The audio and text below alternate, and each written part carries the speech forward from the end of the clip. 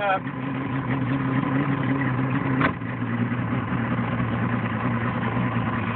Johnny on the fly. All right, here we go.